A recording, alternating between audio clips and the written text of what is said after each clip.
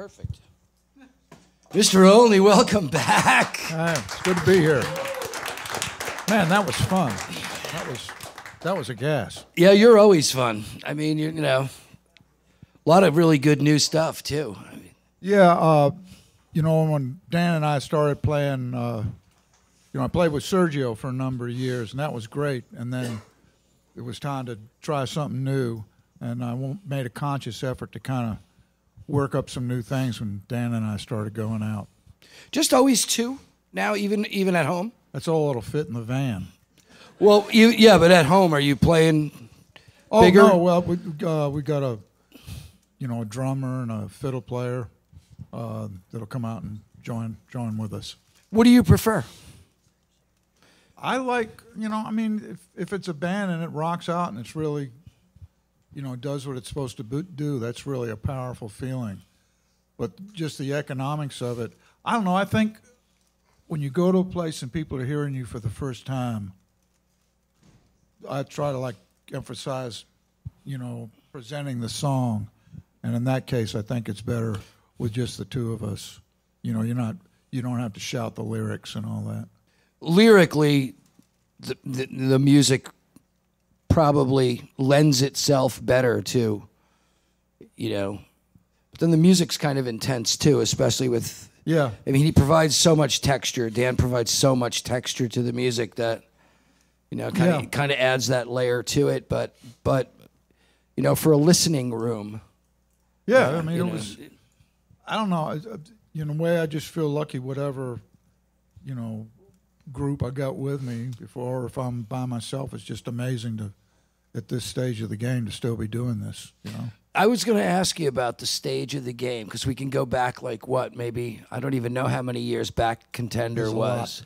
It's a lot of years, and then this new album. When I saw it, it was like, um, still in the fight, you know, or um, Don't try to fight it. don't try to fight it. Yeah. And and and like you know, that's kind of where the inspiration for the poster came from was like, you know, still a contender and Yeah. you know, kind of the Well, uh, I don't want to.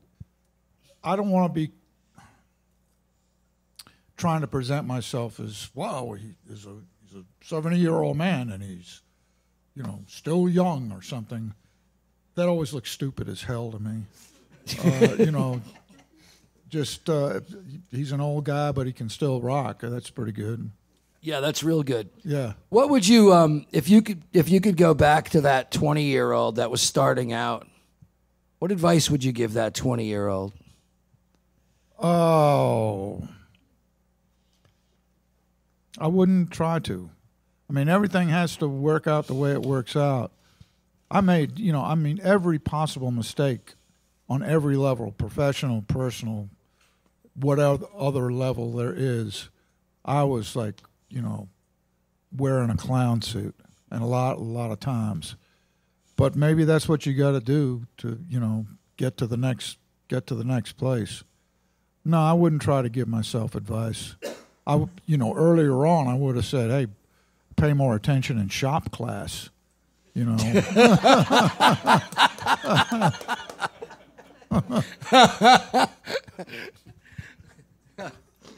I don't know that I could even go anywhere from that. Let's talk about the new album. Um, Do you um you, you're fine um I mean I I I'm I'm late to the party with, you know, I'm probably maybe a decade into your music, you know. Um but I think now it might be um are you finding more inspiration from what's going on around you? uh, I find uh, it was the way I always approached writing.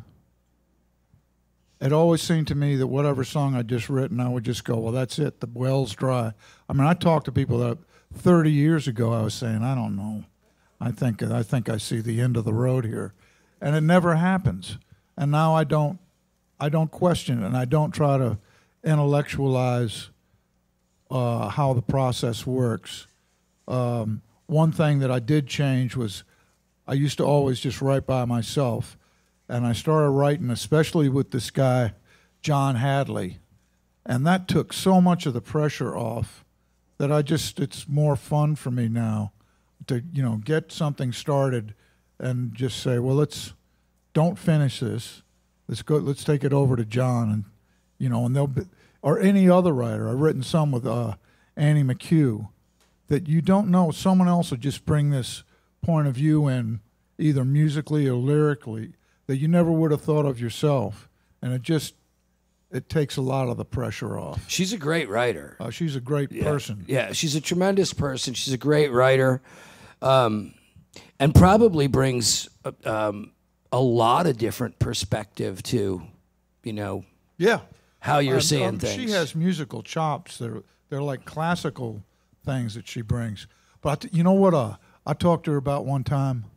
Uh, I like to make some kind of uh, video, you know, like YouTube type thing, of doing scenes from King Lear, where she'd play the fool and I'd be King Lear. that would what did she think of that? she slammed the door in my face. no, she was she was. She had to be into that. Oh yeah. Yeah, she had to be totally into that. Um, Dan, do you get involved in the writing process at all, or are you just interpreting and then arranging on your own? Yeah, I think no, I don't. I haven't written anything with David. I but I should. we should probably will. Yeah. Um, he just played harmonica on my new record that nobody's going to hear, but it's great harmonica. We're gonna hear it. no, but most of these songs, I think he, you know, he just shows up at my house and says, "Here we go," and then we just start kind of chipping away at it from there. You dig this stuff, though, don't you? Oh yeah, Yeah. yeah, big time. Yeah, I got, you know, yeah. you can ju- just tell that you're, you're, you know, you're digging. Great songs, yeah, Yeah. yeah, Yeah, yeah. And Yeah. I feel like I, I I get to have my say with that, you know. You know, with with Sergio, it was so intuitive. Now's the time for the guitar break, and this, you know, and he just would. I mean, it was incredible the stuff he'd come up with. Well, that's not going to happen with old Dave. A lot of times, the break is is something that's going on on the bass. But tonight, uh, especially on Barrymore Remembers, you know what what you were playing was like ah, it was so good. Sometimes I get lost in it and find out I'm in the wrong key. Uh, you know, when when when um when when you guys were here the last time when we were on the other half of the room, um, I noticed it that night. I don't know if, if I commented on it when when we spoke on at at that time, but I noticed it again really obviously tonight is. you know, you usually think of the bass as a rhythm instrument, and in this, it's it's kind of almost a lead instrument. Yep. You know, it's it's it's really playing much more of a role than just a rhythm role. Oh yeah, and it's you know with two people, you can't you know you got to deliver some kind of goods. You know, you can't. th- There's too much spotlight on either player. Really. Yeah. You know, you've got to do something. Um, What on, on the new album? What what what did we do tonight from the new album? There was, I think, Don't try to fight it. And situation. Uh, situation. Yeah, situation, which which you also did during the sound check, but then you know we were all kind of like, all right, when Yeah. when that came up, I, Connor was commenting through the through the headphones. We were all like, oh yeah, we're ready, you Yeah. know, ready for this. Where where's that? I mean, that's um, the you you told the story of you know a a, a general worker. Probably somebody working at a nuclear power plant while it's melting down, and you know, Yeah, uh, yeah. That's kind of what what what came into my head. But where where's that come from? Uh, that's one uh, that I wrote with John Hadley, and I think that just kind of came out of the sky. I went over to John's. I think I had that the lick the ba da da da da da da, and we just when you go when you write with John, you, it's like going to a psychiatrist. Not that I would know anything about it. you think I'm crazy? Stop that uh, you start out and you just you just talk about stuff and you you don't think you're writing a song but in fact you are and John has a way of just kind of drawing things out of you and once the ball gets rolling then it and it, and it, it musically Uh, it goes. It, it doesn't follow the same pattern all the time, so it stays interesting to me. And just that guy, just I think uh, I thought of it as like maybe this is the way religion started.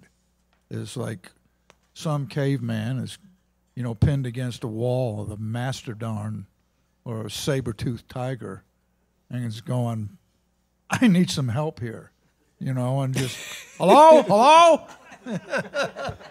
Was there something that sparked this? Um, Tour itself. yeah, yeah. Was there something that? I mean, other than after a while, my family doesn't really want me in the house anymore. Maybe that was. maybe I just I mean, read that. It's just it's what we do, and it, it's uh, almost disturbing to me that the way I am when I'm playing music on stage or or just driving, I think that that's that's who I am. That whatever way I'm going to get judged, if I do get judged, it, I want it to be on the music stuff because a lot of the other stuff uh, I don't do so hot. yeah, uh, I hear that. And you know, music, I've, I feel like the best part of me is coming out. And so, you know, as far as this tour or any tour, that's I have to go out and do that to kind of remember who I am. It's kind of, you know, it's tough on, you know, family, wife, and kids, and that kind of stuff because they kind of know. Dad would, or my husband, you know, really wants to go out on the road, and they know it's. But that's the way it is. kind of a cathartic sort of, you know. If you don't do what it is that you're supposed, that you're kind of made to do, then then you'll really be worthless, Yeah. and they're not going to like it. It may not be immediately apparent, but if I didn't do this, I mean, I don't know where I'd be. I don't think I would be alive. Do you play locally a lot in east on the east side or in, in Nashville? I think we put well, we play about four or five times a year. Yeah. Yeah. Yeah, so Yeah. that's not that's not a lot. That's not a local thing where you're, you know, where you're you, I can find David Olney any night of the week playing somewhere in or around Nashville. No, you can Nashville, You can wear it out in Nashville, and the, you know there's so many performers and players that are really good that you know you kind of have to space out your performances, uh, or else people would just get jaded about it. I haven't been back to the east side since I since I was there when we did you know, we did all of that really cool stuff on Yeah. the east side of Nashville. Um, but I've heard that, you know, it's not even recognizable as to what it was like 4 or 5 years ago. Well, I, I don't know. It's still a vibrant music scene to me. I mean, this musically, it used to be Music Row or something like that. but Right. That's like Dinosaur City. The East Side's still rocking. It's you know, there's bigger, more and bigger buildings, but they're full of more and better guitar players. Yeah. yeah. That's the other reason we leave town. it's getting too good there. Let me ask you, like, go back to songwriting for for a bit. Um, everything you see around you, a song.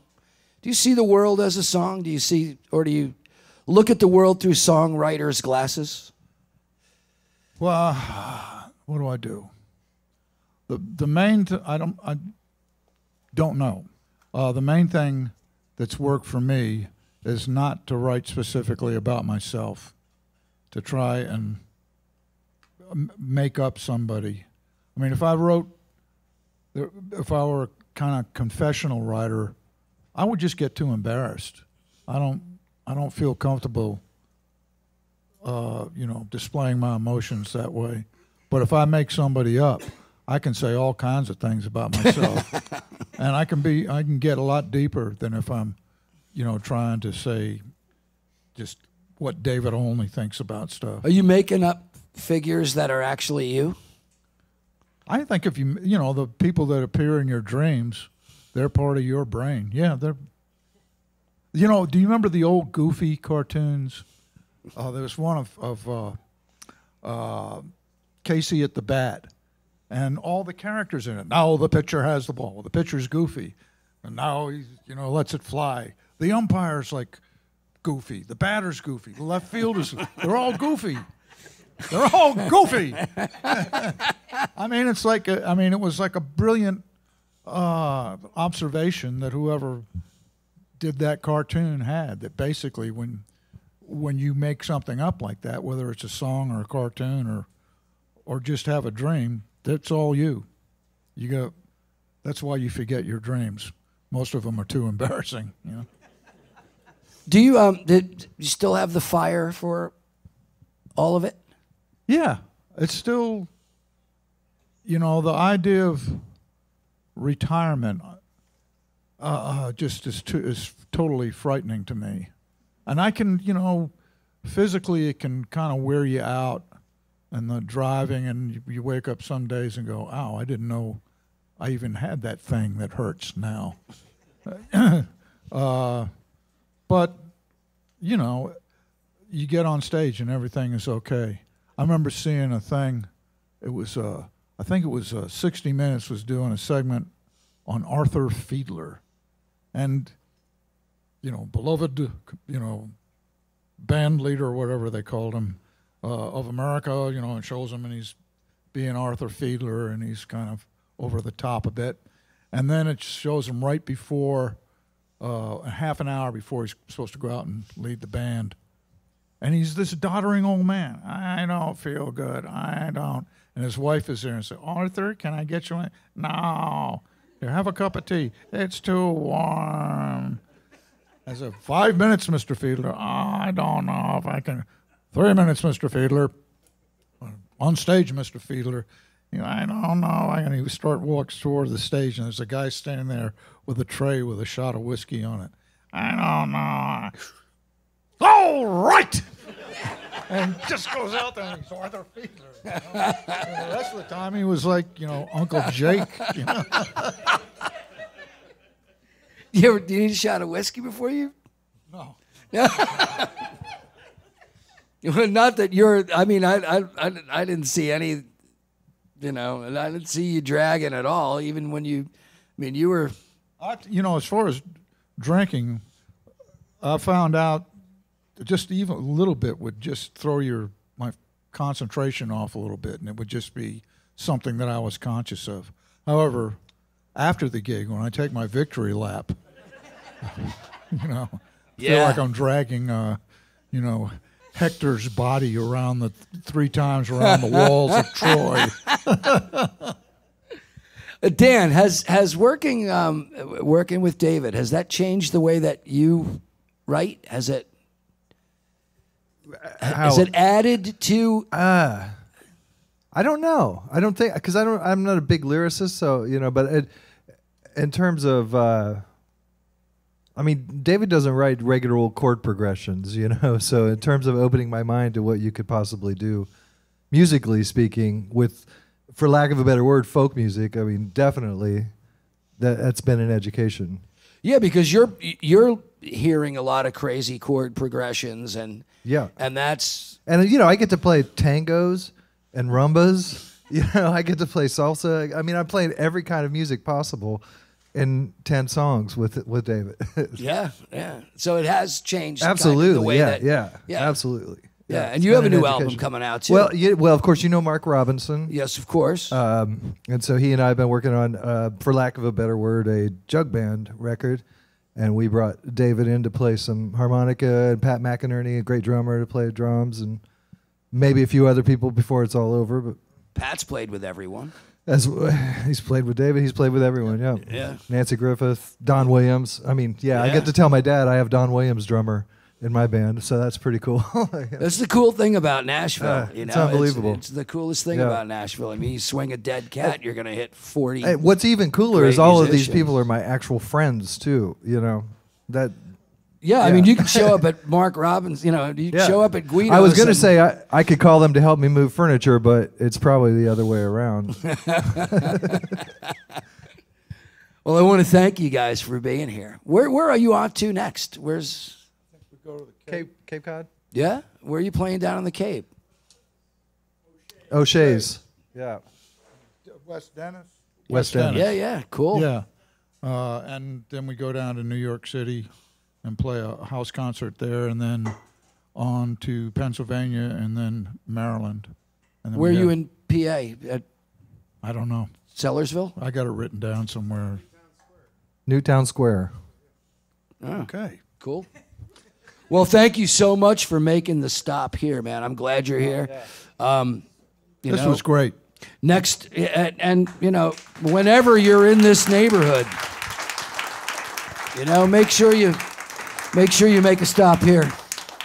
It's always Man. a pleasure to have Yeah, you. I'm a be here. huge fan, and it's always a pleasure to have you here. And I'm I'm just thrilled to death that you guys made the uh, made the trip here tonight. Thank yeah. you so much. Thanks. Thank you.